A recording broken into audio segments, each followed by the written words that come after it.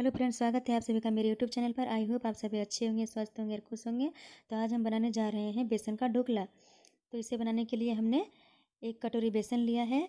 आप अपने अकॉर्डिंग बेसन ज़्यादा या कम ले सकते हैं। तो चलिए बनाना शुरू करते हैं। इसे बनाने के लिए हमने एक बड़ा कटोरी लिया है। अब इसमें हम बेसन को ले लेते हैं और बेसन में हम एक चम्मच चीनी, एक छोटी चम्मच नमक थोड़ा सा हल्दी पाउडर, चीनी और नमक का यूज़ हम कर रहे हैं ताकि हमारा ढोकला थोड़ा मीठा भी लगे और नमकीन भी लगे। और हल्दी पाउडर डाल के थोड़ा थोड़ा पानी डालेंगे और इसका हम बेटर तैयार कर लेंगे। बेटर हम थोड़ा मोटा ही रखेंगे। देखिए, बेटर हमारा तैयार हो चुका है। अब इसे हम करीब दस पंद्रह मिनट तक ढक के छोड़ देंगे ताकि हमारा बेटर फूल सके।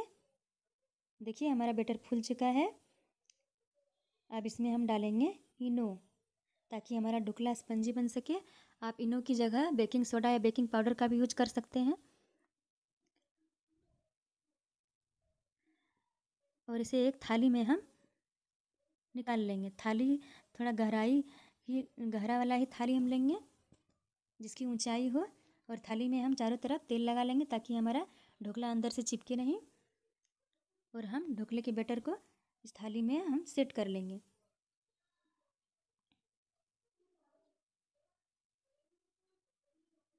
हमने ढोकले के बैटर को इस थाली में सेट कर लिया है अच्छी तरह से। अब हम एक कढ़ाई में पानी गर्म होने के लिए रख दिए हैं और इसमें एक कटोरी रख दिए हैं। आपके पास स्टैंड हो तो आप स्टैंड का भी यूज़ कर सकते हैं।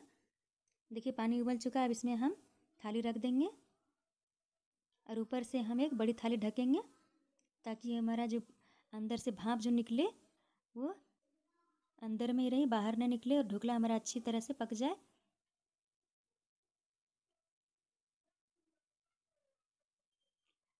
आप बड़ी थाली का ही यूज़ कीजिएगा, छोटी थाली का यूज़ नहीं कीजिएगा। अब इसे हम चेक कर लेते हैं कि हमारा ढोकला पका है या नहीं।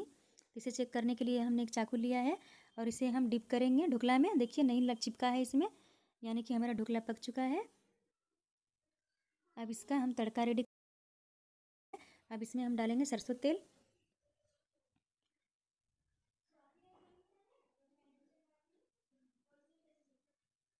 और राई डालेंगे इसमें।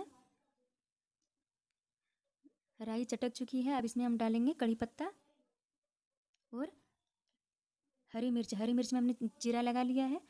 आप अपने अकॉर्डिंग ज़्यादा या कम मिर्ची ले सकते हैं। हमने आठ दस मिर्ची लिया है। और कड़ी पत्ता इसमें ऐड करेंगे। ताकि ढोकला का फ्लेवर हमारा अच्छा बने।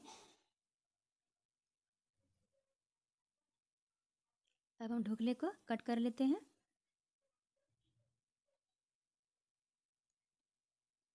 ढोकला कट कर लिए अब इसमें हम छोका लगाएँगे।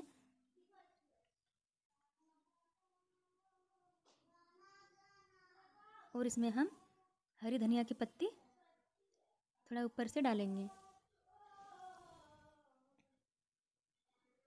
हमारा ढोकला बिल्कुल रेडी हो चुका है। और इसे एक प्लेट में हम निकाल लेंगे। बिल्कुल मार्केट की तरह हमारा ढोकला बन के रेडी हुआ है। और ऊपर से हम एक नींबू का रस इसमें छिड़क देंगे। ताकि हमारा ढोकला का फ्लेवर खट्टा, मीठा और नमकीन तीनों में आए। एकदम ढोकला स्पंजी और सॉफ्ट बन के तैयार हुआ है। आप सब एक बार ज़रूर ट्राई कीजिएगा। ऐसी ही रेसिपी की वीडियो देखने के लिए मेरे चैनल को लाइक सब्सक्राइब कर दीजिएगा। Thank you